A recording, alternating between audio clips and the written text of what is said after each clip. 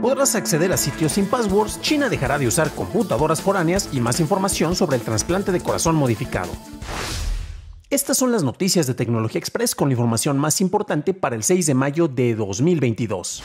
Reuters reporta que la Administración Federal de Aviación se reunió esta semana con funcionarios de telecomunicaciones y aeronáutica para impulsar la modernización y eventualmente reemplazar los altímetros que podrían encontrarse con interferencias de la banda C 5G. La banda C inalámbrica no funciona en el mismo ancho de banda que los altímetros, pero algunos altímetros más viejos no filtran correctamente todas las transmisiones que se presentan en la banda C.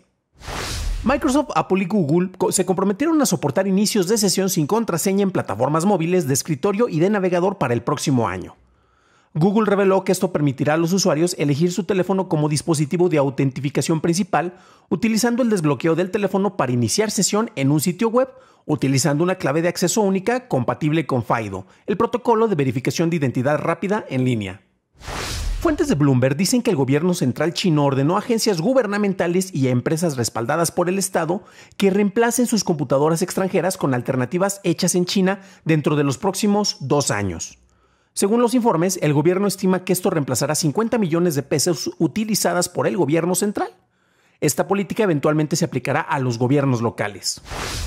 Fuentes de David Faber para CNBC dicen que se espera que Elon Musk ejerce el puesto de CEO temporal de Twitter durante unos meses tras completar la privatización de la empresa. Una presentación ante la Comisión de Bolsa y Valores de los Estados Unidos también revela que Musk obtuvo 7.140 millones de dólares en compromisos de capital de los inversores para esta adquisición, incluyendo los mil millones del cofundador de Oracle, Larry Ellison. Spotify anunció que ya puedes acceder a Spotify Island en Roblox, lo que brinda a los jugadores acceso a misiones, posibilidades de desbloquear artículos gratuitos y acceder a una tienda de productos en el juego. La tienda presenta productos exclusivos de Spotify que se pueden usar en otras áreas de Roblox, así como mercancía basada en artistas, quienes pueden recibir una parte de la venta hecha en Spotify menos la comisión tomada por Roblox. Spotify Island tiene su propio soundtrack que usa Soundtrap, una herramienta de creación de temas de Spotify, y hay una nueva lista de reproducción de la plataforma llamada Spotify Island que puede ser usada para transmitir. La nueva área de Roblox incluye un escenario para conciertos, aunque todavía no se han anunciado eventos en este lugar. Fortnite ha estado organizando conciertos desde 2020 y el año pasado Roblox se asoció con Sony Music para traer más artistas a su plataforma. La Oficina Nacional de Investigación Económica, una organización estadounidense sin fines de lucro, analizó el uso del archivo Wallet, la billetera de Bitcoin impulsada por el gobierno de El Salvador. Desde su lanzamiento en septiembre pasado, más de la mitad de los salvadoreños han descargado la billetera, la cual venía con un incentivo de 30 dólares. De los que la descargaron, el 61% la dejó de usar. El resto de los usuarios son personas sin cuentas de banco que la emplean para hacer transferencias de dólares y no manejan criptodivisas. La Comisión Europea acusó a Apple de abusar de su posición dominante en el mercado de Apple Pay y se opuso a que Apple impidiera que otros desarrolladores de aplicaciones de billeteras móviles accedieran al chip NFC y otro hardware relevante. De ser encontrado culpable, Apple enfrentaría una multa vinculada a los ingresos obtenidos por sus servicios de billetera móvil. El CEO de Intel, Pat Gelsinger, dijo que la compañía cree que la actual escasez de semiconductores afectará hasta el 2024.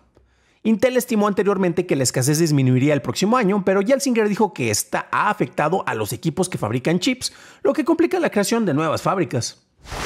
Apple publicó una actualización para desarrolladores en donde aclara su política para la eliminación de aplicaciones obsoletas. Apple eliminará solo las aplicaciones que no se hayan actualizado en tres años y que tengan muy pocas o ninguna descarga en un periodo continuo de 12 meses. Apple enviará un correo electrónico a los desarrolladores sobre las aplicaciones que se eliminarán, dando 90 días para actualizar o para apelar esta decisión.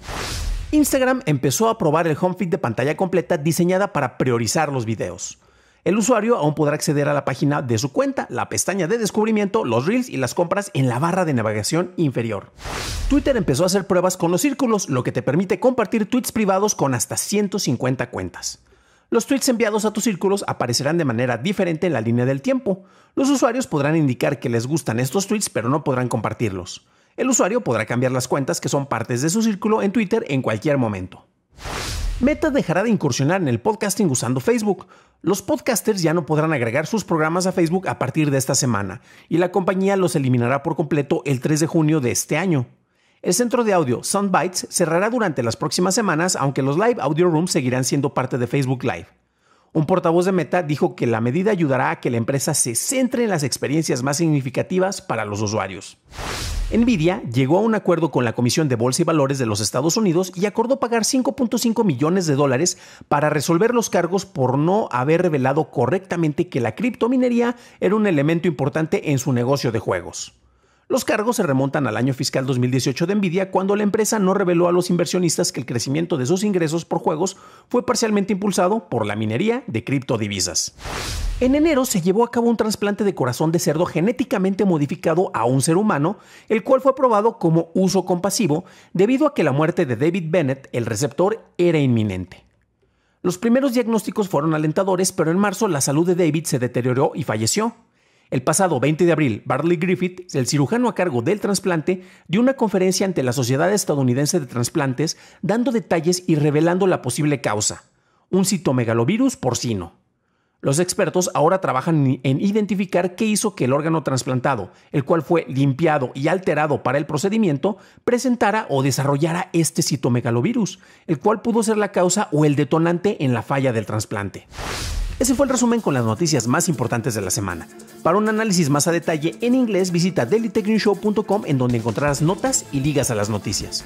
Si encontraste útil la información de este episodio, recuerda que me lo puedes dejar saber dejando una calificación positiva, por favor, en Spotify, en Apple Podcast y también nos encuentras en iCast y en YouTube en la versión en video.